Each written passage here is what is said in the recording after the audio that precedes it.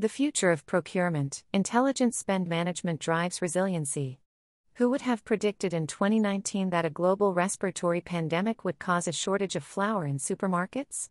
It's the kind of ancillary effect that's virtually impossible to see coming, but it's exactly the kind of swerve that businesses have to be ready for.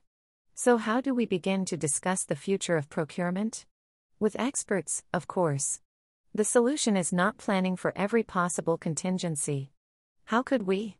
Rather, it's gaining visibility into your systems, increasing efficiency and flexibility to create resilience. The ability to roll with unforeseen changes is a survival trait now and will be a characteristic of thriving businesses in the post pandemic landscape. On this episode of Tech Unknown, we discuss building flexibility and creating resilience in the future of procurement and beyond. Embedded content from HTML5player.libsyn.com. Listen, learn, leap, the future of procurement. We take a hard look at what changes procurement and spend leaders can make right now to prepare for a new normal. Not only that, we also look at how AI and machine learning are fundamentally changing the nature of the procurement function and how procurement leaders can adapt to new roles within the organization. 1. What the top challenges for spend management are in the current landscape and how businesses can meet them. 2. How intelligent spend management can redefine the procurement function. 3. How procurement can take on purpose driven issues like sustainability, ethical sourcing, and equality. About our guests Drew Hoofler is the Vice President of Portfolio Marketing at SAP Ariba and a public speaker. Phil Ideson is the founder and managing director of Art of Procurement, the author of Procurement Incorporated, and host of the Art of Procurement podcast. Mark Perera is the Chief Executive Officer of Vizibl and the author of the forthcoming book Procurement with Purpose. Marcel Vollmer is the Chief Innovation Officer at Celonis and expert on SAP solutions.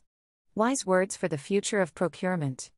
I would define intelligent spend management as managing every source, every category of your vendor related spend, and having one unified view into that spend holistically. Versus handling it, as most companies do, as silos depending on the type of spend that they're doing. Drew Hoofler. Become the trusted advisor and build a compelling value proposition.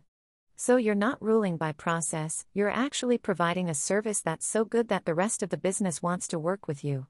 Phil Ideson. Procurement has such a big impact in terms of what they're buying. 50 to 80% of the total spend can be going outside of the business. And the effect it has on the environmental, social, and economic side is huge in terms of where they're buying that from and how they work with their suppliers.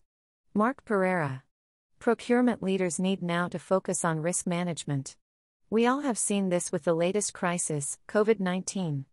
But we have also seen it before the financial crisis, we have seen Fukushima, we have seen the flood in Thailand. So, therefore, risk management is a top priority. Marcel Vollmer. You can subscribe to Tech Unknown here, Apple Podcasts, Stitcher, Google Play.